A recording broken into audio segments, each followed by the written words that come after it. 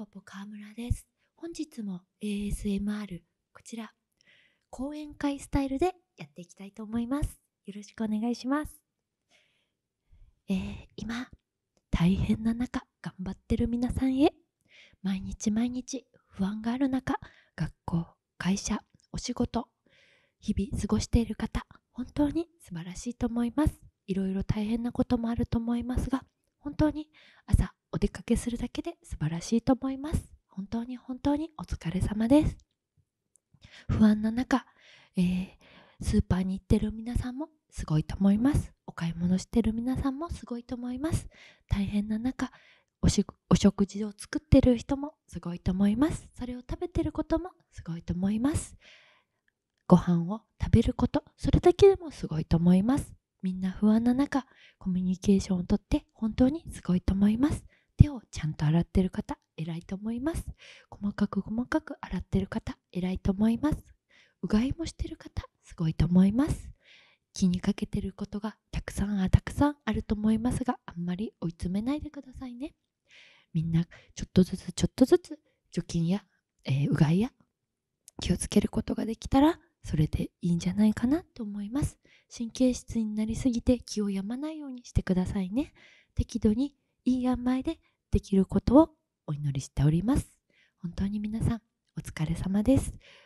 こんな中ですが遊びにもなかなか行けませんがお家の中でテレビだったりボードゲームだったり普通のゲームだったりオンラインゲームだったりトランプだったり新しいカードゲームだったりモノポリーだったり、えー人生ゲームだったりいろんなけん玉だったり、うん、カスタネットだったりアンパンマンの何かだったり、えードラえもんの何かだったりあとはうん鬼滅の刃のごっこだったり、えーなんか歌を歌ったりあと隅っこ暮らしのなんかだったりいろんな何かで自分たちなりに楽しんでる皆さん本当にすごいと思います。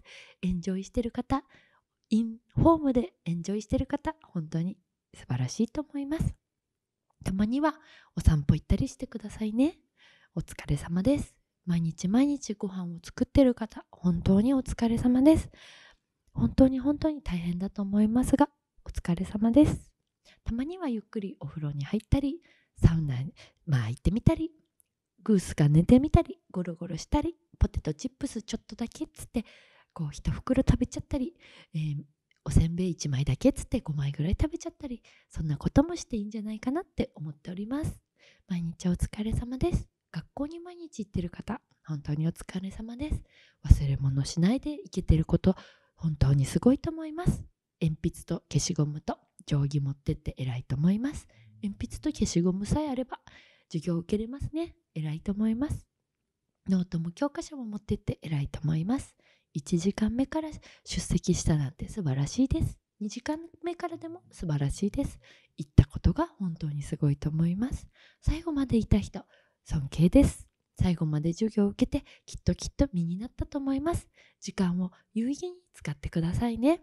無駄なことは何もないと思います。本当に学校行って素晴らしいなって思います。学生時代というのは本当1年でも長い方が良かったなってこう今思うので大事に大事に過ごしてくださいね。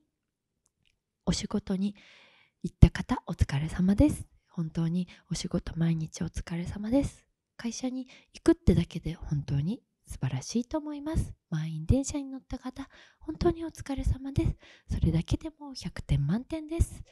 気をつけながらバスに乗った方気をつけながら電車に乗った方お疲れ様です。本当に偉いと思います。